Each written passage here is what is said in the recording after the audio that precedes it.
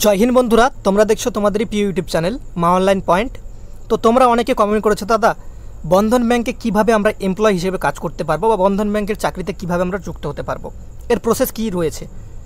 তো দেখো তোমাদের বলি, এটার প্রসেস দুরকমভাবে হয়ে থাকে recruitment process first all recruitment যেটা তোমাদের অফিসিয়াল ওয়েবসাইট থেকে হয়ে থাকে, যেটা তোমাদের আজকালের যুগে, বর্তমান যুগে রেয়ার হয়ে গেছে, খুব কম।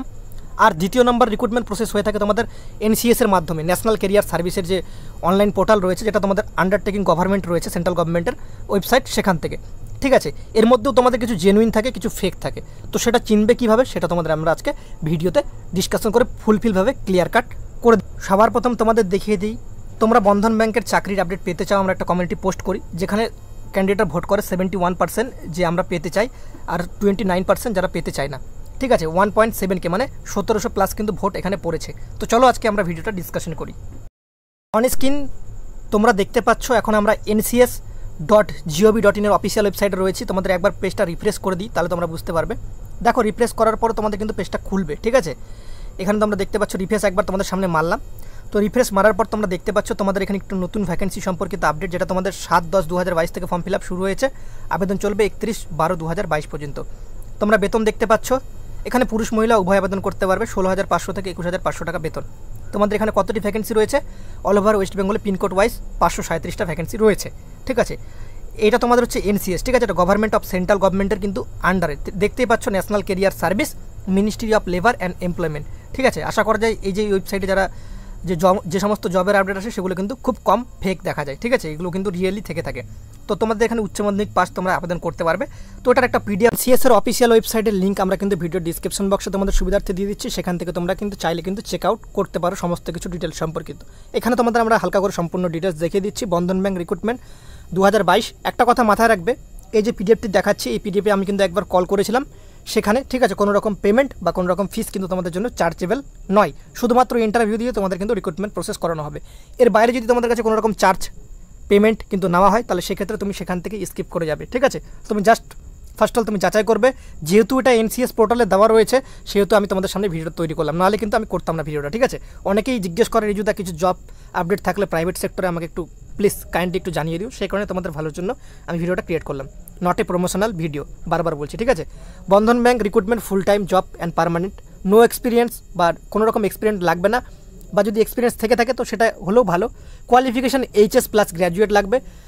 তো তোমাদের সমস্ত প্রাইভেট সেক্টরের যে জবগুলো থাকে, সেগুলোতে কিন্তু কল এইচআর বা হোয়াটসঅ্যাপ নম্বর থাকে, যেটা তোমাদের এনসিএস পোর্টালে দেওয়া রয়েছে এই নম্বরগুলো এই নম্বরগুলোতে তোমরা কিন্তু ফোন বা হোয়াটসঅ্যাপ করতে পারো।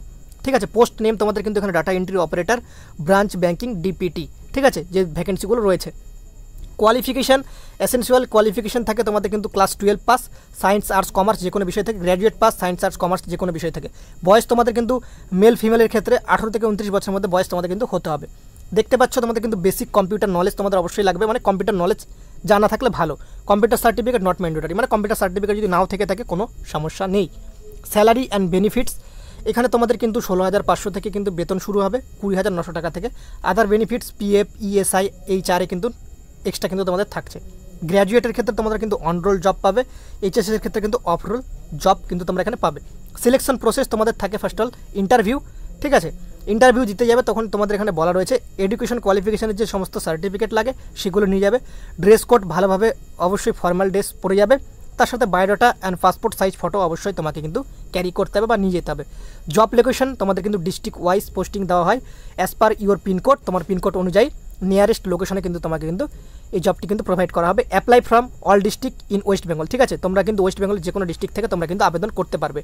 হাউ টু অ্যাপ্লাই তোমরা দেখতে পাচ্ছ অ্যাটেন্ড ইন্টারভিউ অনলি শুধুমাত্র তোমাদের ইন্টারভিউ অ্যাটেন্ড করতে হবে, ঠিক আছে?